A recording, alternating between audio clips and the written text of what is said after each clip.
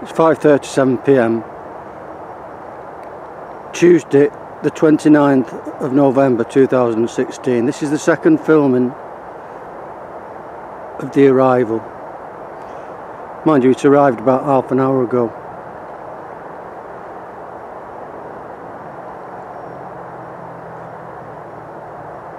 It's only about a thousand yards to the east southwest of me, Robert Newton. It's a height of about 3,000 foot at the most.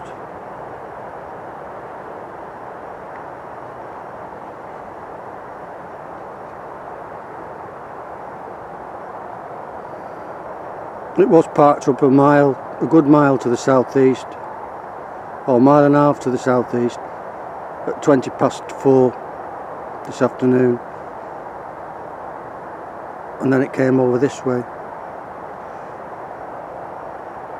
At five o'clock, where it, and it's now moved even further closer to me, further to the north.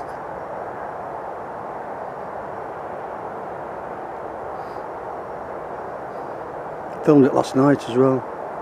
Same time.